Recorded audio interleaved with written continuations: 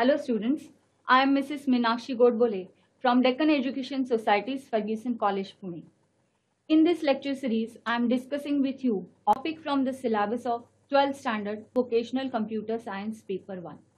Students, in previous lectures, we have covered some points related to operating system.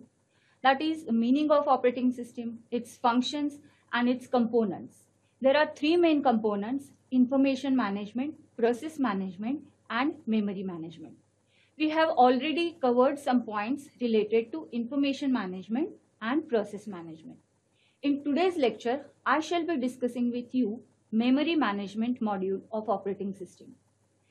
This memory management module manages basically the primary memory or main memory, also we call it as RAM. Why we need to manage this memory? Just recall what happens when you work on the PC. Students, so many things are loaded in the main memory that is RAM. In the very beginning, operating system is loaded and then we start working and application softwares are loaded. Suppose you are writing a C++ program, then you open the C++ program application.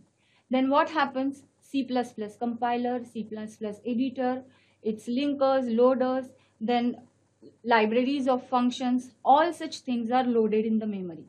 Then you write your own program that also resides in the memory and the program contains data, variables, arrays, etc. Where they are stored? They are again stored in the main memory. So many things are there in the main memory and that is why the management of this memory is very important and the memory management module plays a very important role in this operating system. So let us move on to memory management. Let us see the functions of memory management module. The very first function is to keep the track of all memory locations that is the primary memory locations whether they are free or allocated. If they are allocated then to which process and how much. Then the next function is to decide the memory allocation policy that is to decide which process should get how much memory when and where. And the third function is to use various techniques and algorithms to allocate and deallocate memory locations. Normally, this is achieved with the help of spatial hardware. Students, there are two main system calls or services which come under memory management module. Already we have seen this in first lecture. What are those two calls? System calls.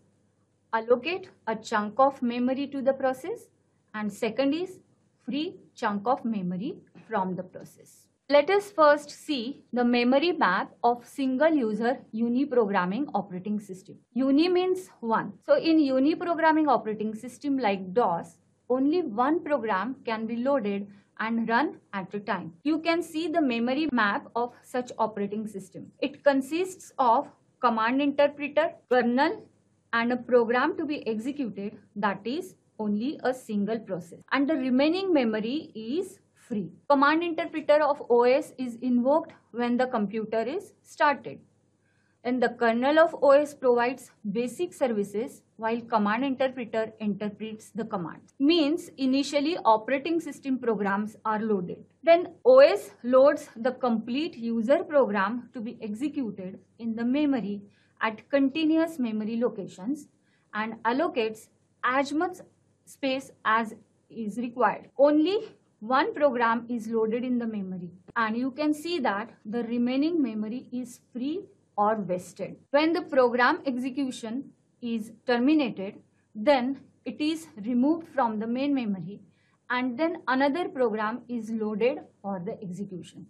Students, you know that nowadays uni-programming operating systems are not used because in this operating system, the computer or the CPU time is wasted because it can run only one program at a time. Now let us see the memory management in multi-programming operating systems. Students, you know that in multi-programming operating systems, multiple programs are loaded in the memory and processor can execute them. So, memory management module of operating system manages basically two types of memories. One is real memory that is RAM and the second is virtual memory. Now what is real memory? It means actual physical main memory that is RAM whereby the process image is loaded before execution. And what is virtual memory? It means instead of increasing RAM physically, its capacity is increased virtually with the help of disk memory. Here, execution of a process can be started even with only a part of the process image loaded in the main memory. Students, I will talk about virtual memory in detail later on. So let us see the real memory management. Now, memory management systems are divided into two major types.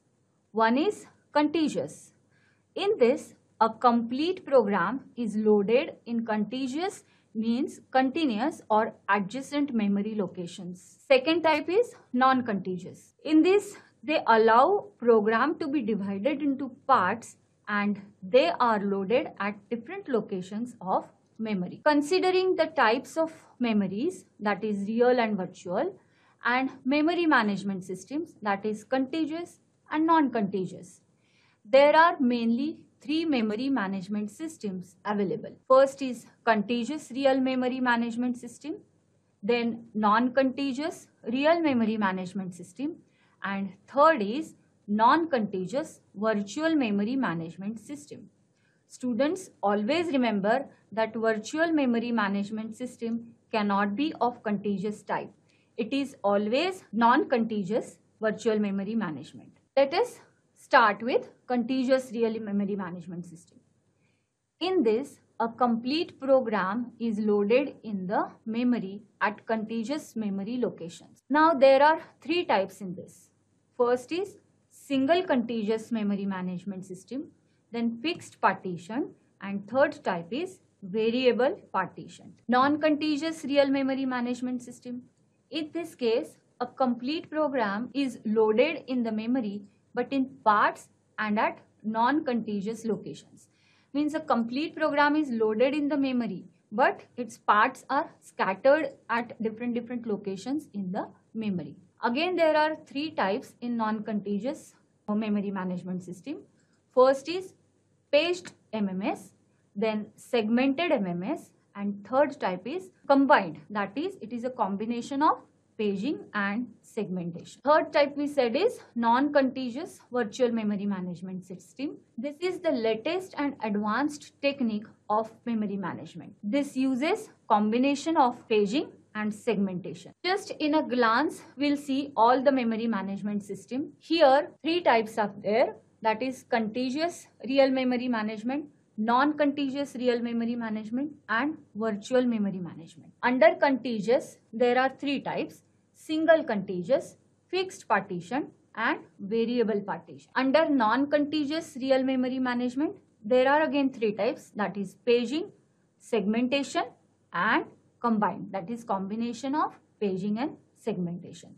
Let us see all of them one by one. We'll start with contiguous real memory management system obviously for multi-programming operating system. You can see uh, the memory map of single contiguous memory management system. Physical memory is divided into two contiguous areas. One is permanently allocated to the resident portion of operating system and the remaining memory is used for the user process. At any time, only one user process is in the memory, just like in uniprogramming operating systems. This process is run to completion and then the next process is brought in the memory. Then what is the difference between single contiguous and uniprogramming operating systems? There is a difference. In single contiguous type, all the other ready processes are held on the disk as executable images. OS holds their PCBs in the memory in order of their priorities. When running process in the main memory is blocked, it is swapped out from the main memory to the disk and next highest priority process is loaded in the main memory from the disk. This doesn't happen in case of uniprogramming operating system. In uniprogramming operating system, if process is blocked for I.O., then processor remains idle. Process is only taken out of the memory when it is terminated. That means when it is completed. Thus, though conceptually this single contiguous memory management system looks like multi-programming system, but there is only one process in the main memory. Now, second type is fixed partition MMS. In this, more programs are loaded in the memory at a time. Memory is divided into various sections called as partitions. Partitions could be of different sizes, but once sizes are decided, they cannot be changed. And that is why it is also called as static partitions. Sizes are fixed at the time of system generation by the system manager. On declaring static partitions, operating system creates partition description table that is PDT. PDT contains all the re information related to partitions like partition ID, starting address, size and status of partition means whether it is allocated or free. You can see the diagram of fixed partition memory management system. This is the memory map. You can see there are total 7 partitions from partition P0 to P6 you can see that the sizes of these partitions are variable. For example, partition P0, let us assume this, that partition P0 is from 0k to 100k, means its size is 100k. P1 is from 100 to 300, means 200k and so on. Now processes are loaded in the memory in various partitions. Process A has been loaded in partition P2, B in P3 and process C in P5. Now this is the partition description table which contains all the details related to the partitions. Partition ID, its starting address, size and status. Now you can see that operating system is loaded in partition P0. So the details of P0 are its starting address is 0, its size is 100k and the status is allocated. And so on, the status and size and everything related to all the partitions will be returned in partition description table. OS maintains link between PDT and every PCB that is process control block. Students, what is process control block? This is the block which is created whenever each process is created. This PCB contains all the related information. This process control block contains information related to that particular process. A complete program is loaded in a single partition which is most suitable by size. When process is loaded in any partition, the status of that partition is made allocated in PDT and when process terminates, OS removes its PCB and that partition status is set to free by memory management. Now let us see actually what happens or how the partition is allocated or it can be asked a question in the exam that write the steps involved in the allocation of partition in case of fixed partition memory management. So let us see these steps now. Initially, long-term process scheduler of the process management decides which process is to be brought into memory. It then finds out the size of the program to be loaded by consulting the information management portion of the OS. Compiler keeps the size of the program in the header of the executable file and that is why it becomes easier to get the size of that particular program. It then requests the partition allocation routine of memory management to allocate a free partition with appropriate size.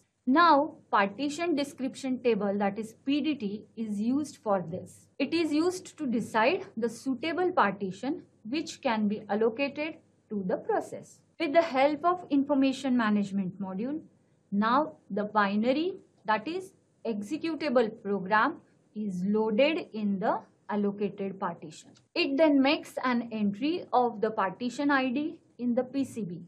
Then the PM module, that is process management module of the operating system, adds the process in the queue of ready processes. The routine in the memory management now marks the status of that partition as allocated in PDT and the PM eventually schedules this process. Now you can see that memory management module with the help of information management module and process management module allocates the partition to the process. Now suppose if you are writing the answer of this question, please note that you will write or you will draw the diagram for fixed partition MMS which we have seen earlier. Now there are some disadvantages of fixed partition method. Firstly, it suffers from the problem of fragmentation that is internal fragmentation and external fragmentation. Fragmentation means what? It means wastage of memory space. Now what is internal fragmentation? Suppose if partition of size 100K is allocated to a process of size 60K, then the 40K of memory of that partition is wasted and cannot be allocated to any other process. This is called as internal fragmentation. And what is external fragmentation? Sometimes it may happen that two free partitions of 200K and 400K are available. And next process to be loaded is of suppose 500K. Now, here both the available partitions cannot be allocated individually as their size is smaller than 500K. Though together they make 600K, they are not continuous and that is why they cannot be allocated. So again there is a wastage of memory space. This is known as external fragmentation.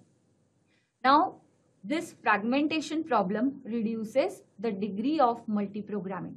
Recall what is degree of multiprogramming? We have seen this in process management.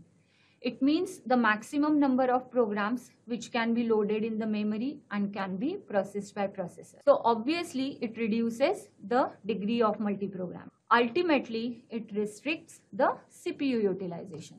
Now students will see the third MMS that is variable partition memory management system. Variable partitions came into existence to overcome the problem of fragmentation in fixed partitions. It is also a contiguous type of memory allocation method. Here, number of partitions and their sizes are variable and that is why the name is variable partition. They are not defined at the time of system generation like in fixed partition method.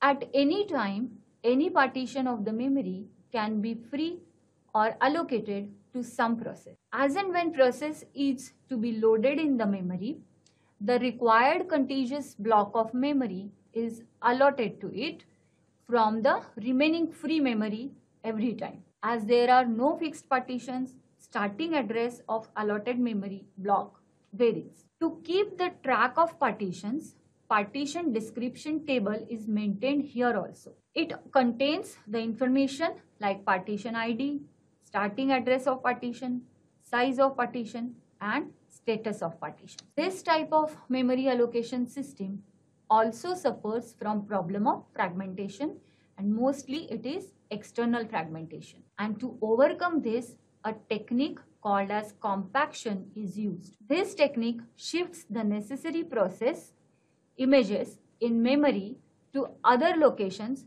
to bring the free chunks to adjacent positions but a lot of computer time is wasted doing so. You can see the diagram of memory allocation in variable partition method. See that this is suppose the memory and in the memory only operating system is loaded and all the remaining memory is free initially. Then process P1 enters and whatever space is required for process P1, it is given to P1 and here P1 is loaded Again, this is the free memory. Then process P2 comes in and it is given a space, whatever it requires. Then P3 comes in. Now only this much space is remaining. Now P4 is there in the queue, but it cannot be fitted in this area. But by the time uh, process P1 goes in block state, That is, it starts performing some IO operation. Now process P1 is removed from the memory and this much block becomes free now where P4 gets fitted and P4 is given space here. Now P4, P2 and P3 are there in the memory. Meanwhile, P2 is completed and it is terminated and removed from the memory. Now this much block is free. Now what happens? P1 completes its IO and again wants to continue its execution. So it has to be loaded in the main memory. Now P1 is given space at this location. Now you can see that earlier P1 was loaded at this point and now P1 is loaded at this point. Means the starting address of P1 is different now. Then P5 comes in and this is how the processes are loaded in variable partitions. The partition sizes are not fixed as and when required by the processes the memory locations if they are available they are given to the processes. Students let us now see the non-contiguous real memory management system. Again see the diagram under non-contiguous real memory management paging is there segmentation is there and combination of paging and segmentation. Let us see paging and segmentation. In this program is divided into parts and they are loaded in memory maybe at non-contiguous locations. As I said, there are two techniques, segmentation and paging. In the segmentation, what happens? Parts of the program are of variable sizes and in paging, parts of the program are of equal sizes. Let us see segmentation in detail. It is a non-contiguous type of real memory management system. In this, a complete program is divided into parts known as segments which are loaded at non-contiguous locations in the memory. Segments are logical divisions of a program and hence are normally of variable size. Each program in its executable form can be considered to be consisting of three major segments, code, data and stack. Each of these can be divided into further segments. Also, main program, subprograms, predefined or library functions, etc. can be treated as segments. Thus, programs are divided into parts known as segments. An application programmer may or may not declare different segments in the program explicitly. If programmer defines different overlays or segments explicitly, it is fine. Otherwise, compiler does it on its own. What does compiler do? Compiler does the following things. It recognizes different segments in a program. Then it numbers them. Then it builds a segment table containing information of segments. Then produces an executable image by assigning two-dimensional addresses. This address contains segment number and displacement. When the program is loaded in the memory for processing, its various segments are loaded at various locations in memory where they can be fitted. After memory is allocated, OS builds a segment map table that is SMT, which contains the information regarding the segments in memory. It contains segment number, segment size, and base address that is the starting address of segment in the memory. Students, you can see uh, the example of segmentation. Here, for example, a program is divided into five segments. The main program of a program is treated as segment 0 here and its size is from 0 to 999. Then built-in functions are treated as segment 1. Subprogram is segment 2 data area is segment 3 and stack area is segment 4. Means in all five parts or five segments are there for this program. Now these segments are loaded here in the memory.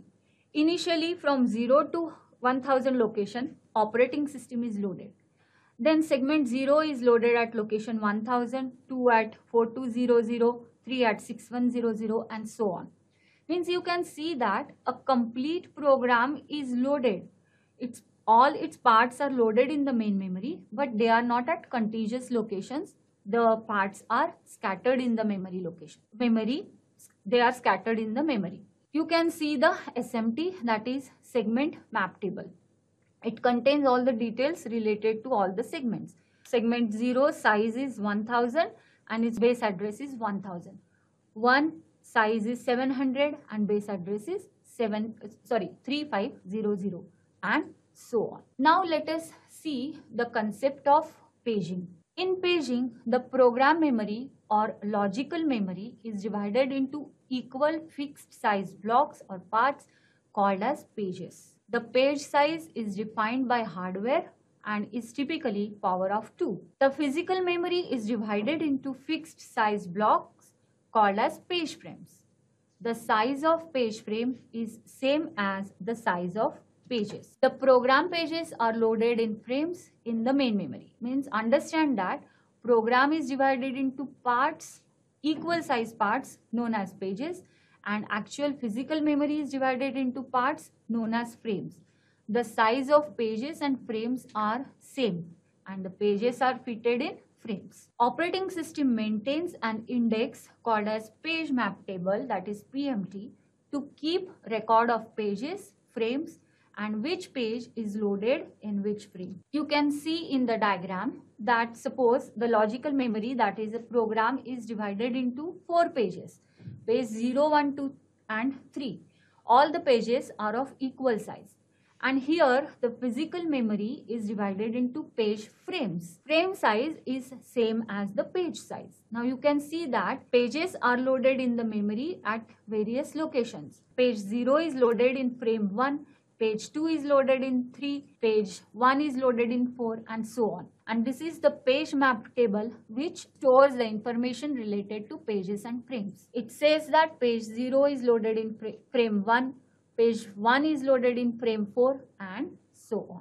Any logical page can be placed in any free available page frame. When the page is loaded in the free page frame in the memory, OS marks that frame as not free. Any logical address in the program consists of page number P and displacement or offset D. And when loaded in the memory, address becomes frame number F and displacement is D. As the sizes of page and frame are same, displacement remains the same.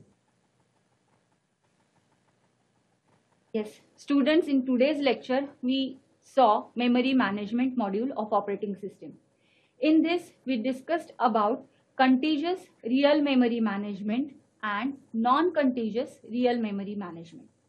In next lecture, I'll discuss with you virtual memory management. Thank you.